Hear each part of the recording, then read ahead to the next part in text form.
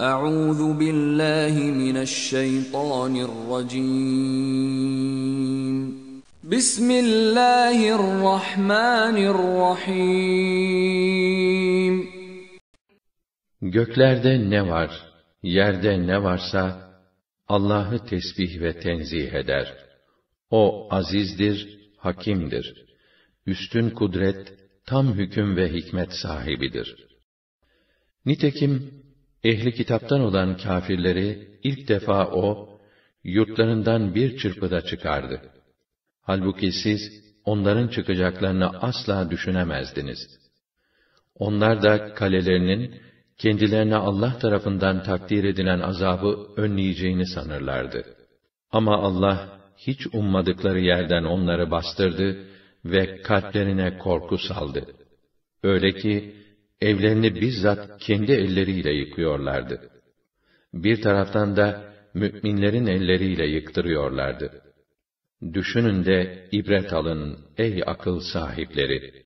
Eğer Allah onlar hakkında toplu sürgün cezası takdir etmeseydi, mutlaka onları dünyada cezalandırırdı. Ahirette de onlara ateş azabı vardır. Bunun sebebi onların Allah ve Resulüne karşı çıkmaları oldu. Kim Allah'ı ve elçisini karşısına alırsa, bilmelidir ki Allah'ın cezası pek çetindir. O kâfirleri kızdırmak için herhangi bir hurma ağacı kesmiş iseniz veya kökleri üzerinde bırakmışsanız bu hep Allah'ın izniyle ve o yoldan çıkmışları cezalandırmak için olmuştur. Allah'ın daha önce onlara ait olup peygamberine ganimet olarak nasip ettiği mallara gelince siz onun için ne at ne de deve koşturdunuz.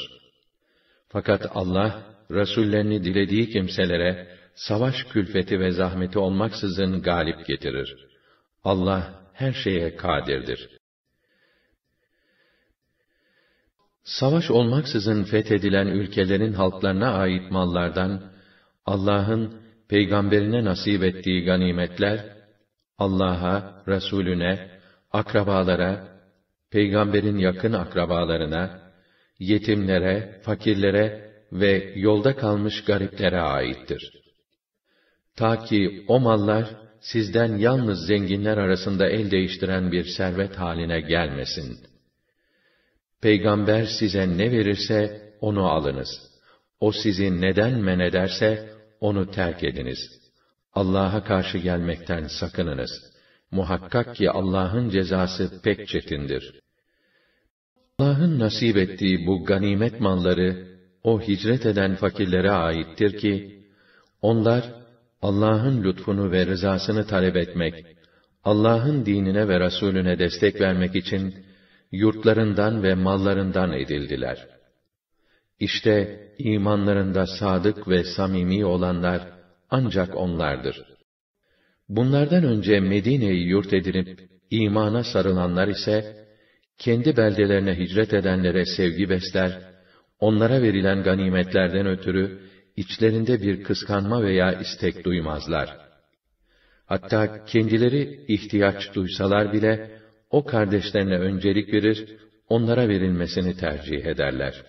Her kim nefsinin hırsından ve mala düşkünlüğünden kendini kurtarırsa, işte felah ve mutluluğa erenler onlar olacaklardır. Onlardan sonra gelenler, başta muhacirler olarak kıyamete kadar gelecek müminler, Ey Kerim Rabbimiz derler. Bizi ve bizden önceki mümin kardeşlerimizi affeyle. İçimizde müminlere karşı hiçbir kin bırakma. Dualarımızı kabul buyur ya Rabbena. Çünkü sen raufsun, rahimsin. Şefkat ve ihsanın son derece fazladır. Bakmaz mısın şu münafıklık yapanlara?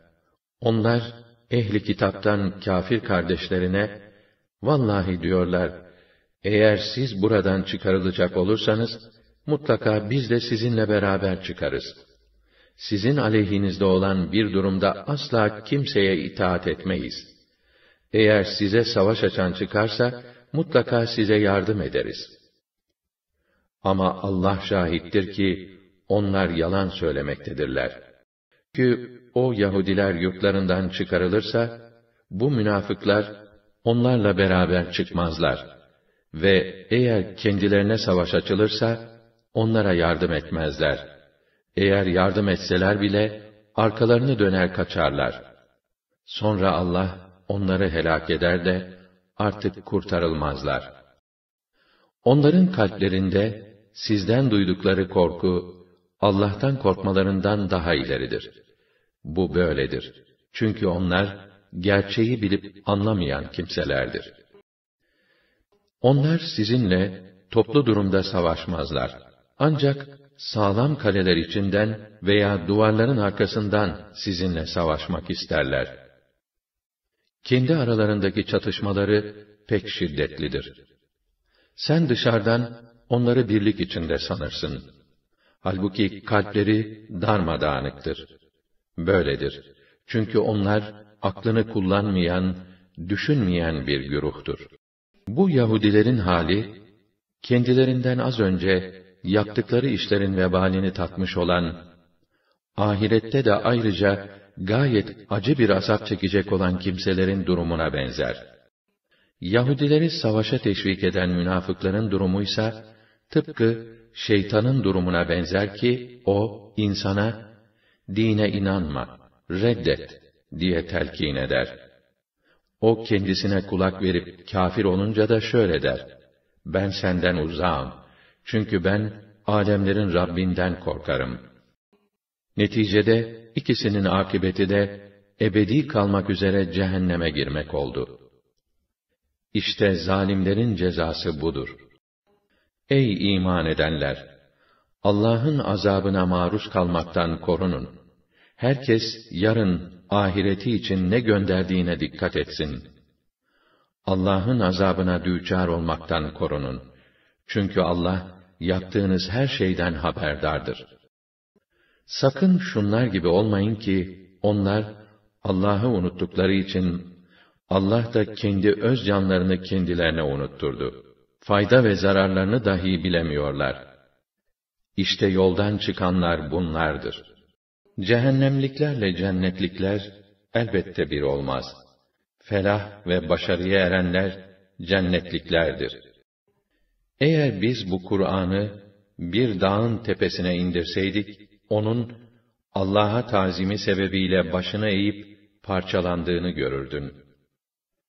İşte bunlar bir takım misallerdir ki, düşünüp istifade etmeleri için biz onları insanlara anlatıyoruz. Allah'tır gerçek ilah. Ondan başka yoktur ilah. Görünmeyen ve görünen her şeyi bilir. O Rahmandır, Rahim'dir. Allah'tır gerçek ilah. Ondan başka yoktur ilah. O Meliktir, Kuddüstür, Selam'dır. Mü'mindir, Müheymindir, Azizdir, Cebbardır, Mütekebbirdir. Allah, müşriklerin iddialarından münezzeh ve yücedir.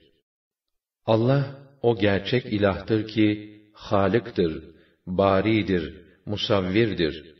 Hasılı, en güzel isimler ve vasıflar O'nundur. Göklerde ne var, yerde ne varsa hepsi, O'nu tesbih ve tenzih eder.